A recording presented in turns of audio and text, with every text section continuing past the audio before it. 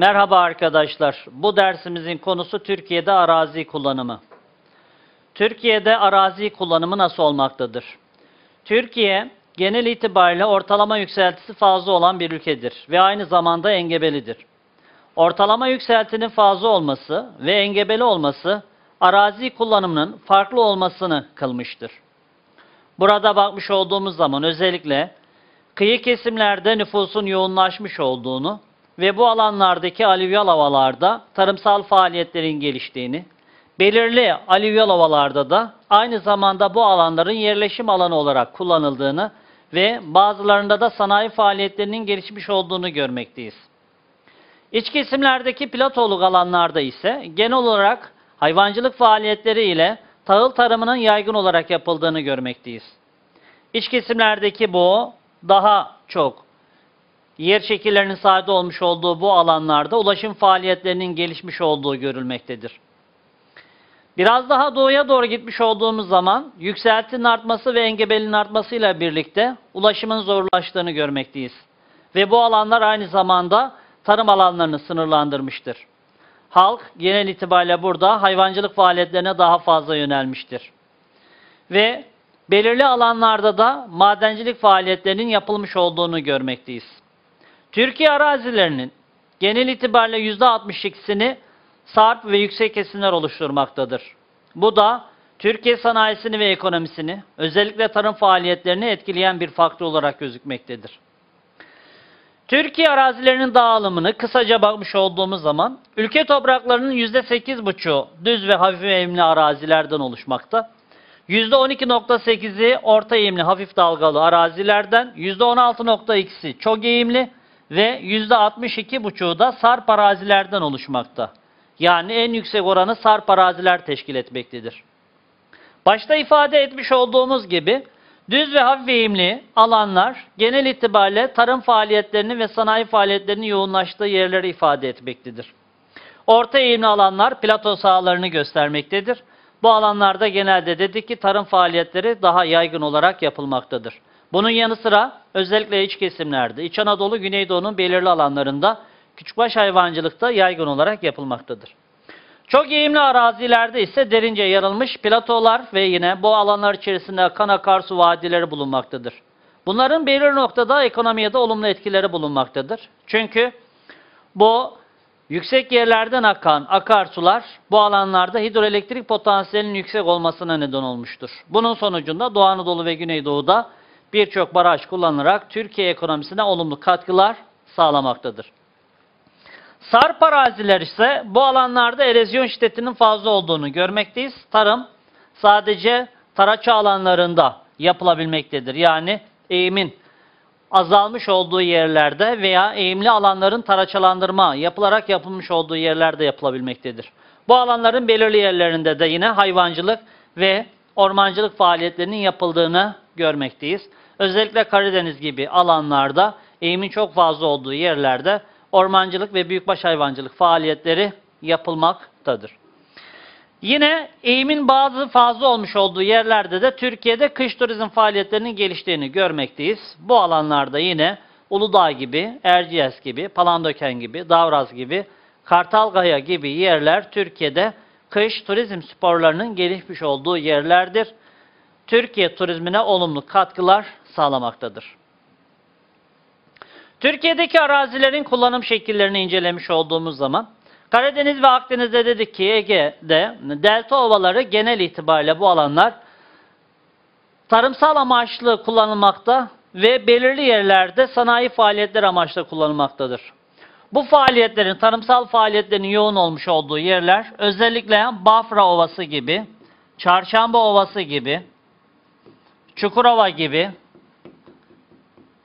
ve aynı zamanda Ege'deki Bakırçay, Gediz, Küçük Menderes, Büyük Menderes ovalarında özellikle tarımsal faaliyetler yoğunlaşma özelliği göstermiştir. Bu alanlarda birçok endüstri ürünleri ekilmekte, yüksek gelir elde edilmektedir. Aynı zamanda bu ovalar Türkiye'de sulama imkanlarının da en fazla geliştirilmiş olduğu ovalar özelliği göstermektedir. Delta ovaları tarım sahalarıdır. Yakın zamanlarda bu ovalarda sanayi faaliyetleri ve yerleşim alanları yaygın olarak bulunmaya başlamışlardır. Özellikle bu alanların tehdit altında olmuş olduğu yerlerin başında Çukurova gelmektedir. Türkiye'nin en önemli tarım arazisi olmasına rağmen son yıllardaki kentleşmeyle birlikte bu alanlar özellikle binalarla kaplanmış sanayi faaliyetleri bu alanda gelişme göstermiştir. Yine aynı şekilde Sakarya çevresindeki Sakarya Ovası'nın belirli alanları, Dilovası çevresi Türkiye'nin en önemli sanayi faaliyetlerinin yoğunlaştığı yerler haline gelmişlerdir. Yine Gediz Ovası çevresindeki belirli yerlerde sanayileşmenin fazla olmuş olduğu alanlar içerisinde gösterilmektedir. Dilovası, Çayırova, İzmit, Bursa, Çukurova gibi bazı tarıma elverişli ovalar yine Türkiye'de sanayi faaliyetlerinin yoğunlaşmış olduğu yerlerdir. Genelde tabii ki yatırımcılar ulaşım imkanlarının daha kolay olmuş olduğu ve aynı zamanda tüketim alanlarına daha yakın olduğu yerleri ve ham maddeyi daha rahat bulabilecekleri alanları tercih etmektedirler. Hem iklimin müsait olmuş olduğu hem de ulaşım şartlarına müsait olmuş olduğu Çukurova gibi, Marmara gibi, Kıyı Ege ovaları gibi yerleri işletmeciler, yatırımcılar bu alanları daha fazla tercih etmekteler. Bundan dolayı da bu tarımsal ovalarımız özellikle şu an tehdit altında bulunmaktadır. Vadi kenarlarında yer alan ovalarda da tarımsal faaliyetler yoğunlaşmış, ova ile dağlı yamaçlarında yerleşim birimleri kurulmuştur. Bunlara en güzel olarak da yerler olarak da Erzincan gibi, Bursa gibi, Hatay gibi, Eskişehir gibi yerler bunlara örnek olarak gösterilebilir. Bunlar önceden dağ eteklerinde kurulan ova özelliği gösterirken şu an tamamen şehirler ovanın ortasına kurulma özelliği göstermektedir. Burada da tabii ovanın tamamı yine tehdit altında olmakta. Tarımsal üretim azalma eğilimi göstermektedir. Genelde bu alandaki insanlar da sanayi alanlarına daha fazla katılmaktadırlar. Batı Karadeniz'deki platolarda çoğunlukla tarım ve hayvancılık amacıyla kullanılmaktadır. Özellikle bu alanda tarım arazileri daha az olduğu için halkın genel geçim kaynağı tarım ve tarım yerine hayvancılık ve ormancılığa yönelmişlerdir. Doğu Karadeniz'de de yine büyükbaş hayvancılık faaliyetleri daha yaygın olarak bulunmaktadır. Çünkü Doğu Karadeniz Türkiye'de delta ovalarının, kıyı ovalarının en dar olduğu bölüm olarak gözükmektedir. Bundan dolayı halk mecburen ya büyükbaş hayvancılığa veyahut da balıkçılığa yönelmişlerdir. Ki burada geçimini sağlamayan insanların birçoğu da göç etmek mecburiyetinde kalmışlardır. İç kesimlerdeki yerlerde de yine yer şekillerinin sade olması ulaşım faaliyetlerini geliştirmiştir. Karstik araziler üzerinde de tarıma çok fazla arazi, elverişli arazi bulunmadığından dolayı bu alanlarda da yine tarım faaliyetleri genelde kıyı kesimlerde toplanma özelliği göstermiştir. Yer şekillerinin uygun olduğu ve kar kalınlığı fazla olduğu yerlerde de kış sporları gelişme göstermiştir. Bunların dedik belirli yerleri olarak özellikle Bursa, Uludağ gibi, Bolu, Kartalkaya gibi, İzmit, Kartepe gibi, Erzurum, Palandöken gibi, Isparta, Davraz gibi yerler Türkiye'de turizm Erciyes'i burada söylememiz gerekir. Kayseri, Erciyes gibi yerler Türkiye'de kış turizminin en fazla gelişmiş olduğu yerler arasında gösterilmektedir. Burada da yükseltinin fazla olması ve eğimin fazla olması burada da kış sporlarının gelişmesine katkı sağlamıştır. Ülkemizin doğusu ve güneydoğusu iklim ve yer şekillerine bağlı olarak önemli hidroelektrik potansiyele sahiptir. Bundan dolayı da Türkiye'de en fazla enerjinin üretildiği yerlerin başında Doğu Anadolu, Güneydoğu Anadolu bölgesi gelmektedir. Özellikle kış aylarında yağan karların ilkbahara doğru erimesiyle birlikte Atatürk, Keban, Karakaya, Kral Kızı, Deve Geçidi gibi barajlarından Türkiye'ye önemli ölçüde elektrik üretilmekte ve önemli ölçüde iç piyasaya elektrik verilmektedir. Yani Türkiye elektrik ihtiyacının büyük bir kesimi buradan karşılanmaktadır.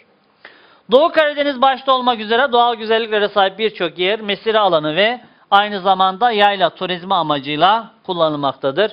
Doğu Karadeniz'de de birçok kişi yaylacılık faaliyetlerinden hem turizm amacıyla hem büyükbaş hayvancılık faaliyetleri amacıyla geçimini sağlamaktadır. Özellikle son yıllarda da yine Akdeniz çevresinde yaylacılık faaliyetleri gelişme göstermişlerdir. Hem Akdeniz kıyı kesiminde yazların daha sıcak ve nemli olmasına bağlı olarak insanlar mesire alanlarına çıkmakta ve e, aynı zamanda da hayvancılık faaliyetleri amacıyla yine bu alanlarda hayvan yetiştiriciliği amacıyla yaylalara çıkma özelliği göstermektedirler. Orta Anadolu, Doğu ve Güneydoğu Anadolu'daki bozkır bölgeleri başta olmak üzere bazı dağlık ve engebeli alanlar yine hayvancılık faaliyetleri için, küçükbaş hayvancılık faaliyetleri için kullanılmaktadırlar. Volkanik sahalardaki ova platolarda verimli toprakların etkisiyle tarım ve yerleşme alanları olma özelliği göstermektedir. Özellikle Türkiye'de volkanik sahaların en çok olmuş olduğu yerler Doğu Anadolu bölgesinde Büyük Ağrı, Küçük Ağrı, Süphantendirek, Nemrut çevresindeki belirli alanlar. Burada önemli tarım alanları vardır. Fakat burada sıcaklığın yetersiz olması fazlaca tarımsal alanda gelişme gösterilmemesine neden olmuştur. Ancak İç Anadolu gibi yerlerde özellikle Erciyes, Karadağ, Hasandağ ve Melendis dağlarından çıkan volkanların birikmesi ve bu alanlarda volkanik toprakların oluşmasıyla önemli tarım alanları oluşmuş ve bu alanda da özellikle patates yetiştiriciliği gelişme göstermiştir ve yaygın olarak bu alanlarda yine elma bahçeleri de bulunmaktadır. Türkiye ekonomisine etki eden faktörler. Türkiye ekonomisini etkileyen belli başlı faktörler vardır. Bunların başında Türkiye'nin iklimi, yer şekilleri, coğrafi konumu ve üç tarafının denizlerle çevrili olması gibi faktörler Türkiye ekonomisini etkilemektedir. Bunlardan bazıları Türkiye ekonomisini olumlu yönde etkilerken bazıları da Türkiye ekonomisini olumsuz yönde etkileme özelliğine sahiptir. Özellikle dedik ki yükselti ve engebenin fazla olmuş olduğu yerlerde sanayi ve tarım faaliyetleri olumsuz etkilenirken hidroelektrik enerji üretimi ve aynı zamanda kış sporları olumlu yönde etkilenme özelliğine sahip olmaktadır. Burada bakmış olduğumuz zaman ekonomiyi etkileyen faktörler coğrafi konum dedik. Türkiye'nin özellikle 26-45 doğu boylamları, 36-42 kuzey enlemleri arasında yer alması. Yani orta kuşakta bulunması Türkiye ekonomisini etkilemektedir. Orta kuşakta yer aldığından dolayı dört mevsim yaşanmakta. Dört mevsim yaşanmış olduğundan dolayı da farklı tarım ürünleri farklı mevsimlerde yetiştirilebilme özelliğine sahiptir. Bundan dolayı Türkiye özellikle belirli tarım ürünlerinden önemli girdiler sağlamaktadır, önemli gelir elde etmektedir. Ve coğrafi konumuna bağlı olarak üç kıtanın ortasında yer alması, İstanbul Çanakkale boğazlarına sahip olması ve bu boğazlara bağlı olarak belirli ülkelerin seyahatlerini bu alandan gerçekleştirmelerinden dolayı da özellikle transit geçiş üzerinde de Türkiye belirli bir etkisi bulunmaktadır. İstanbul Çanakkale Boğazı'ndan da yine belirli gemi ticareti olmakta. Bunlardan da Türkiye'nin ekonomik olarak belirli bir girdisi bulunmaktadır. İkinci faktör olarak yeryüzü şekilleri dedik ki yeryüzü şekillerinin engebeli olması belirli yerinde olumsuz etkileri de varken olumlu etkileri de olmaktadır. Tarım ve sanayi faaliyetlerini olumsuz yönde etkilerken özellikle dedik ki enerji üretimi ve kayak sporu için, kış turizmi için olumlu etkilere sahip olmaktadır. Kısa mesafelerde Türkiye'de yer şekilleri değişmekte. Buna bağlı olarak iklim değişiklik göstermektedir. Yine buna bağlı olarak da tarım öğrenimleri kısa mesafelerde değişiklik gösterme özelliğine sahiptir. Üçüncü faktör iklim özellikleri. Türkiye üç ana iklimin etkisi altında kalmaktadır. Karadeniz iklimi, Ege, Akdeniz, Güney Marmara bölümünde Akdeniz iklim özellikleri ve iç kesimlerde karasal iklim özellikleri görülmektedir. Üç ana iklimin özelliği görüldüğünden dolayı üç ana iklime has ürünler yetiştirilmekte. Bunlar da bütün yıl boyunca bölgeler içerisinde yıl boyunca kendi işlerinde değiştirilmektedir. Bu da Türkiye'de ticaretin canlanmasına etki eden faktörlerin başında gelmektedir.